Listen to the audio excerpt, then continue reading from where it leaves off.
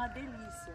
Depois que você pegar o hábito, eu adoro esse trem. É uma coisa que eu pego o hábito é de mulher, agora disso aí não. Nós toma tereré, opção de viola, gostar de churrasco, cerveja, motel, é rodeio e vaquejada é o nosso esquema.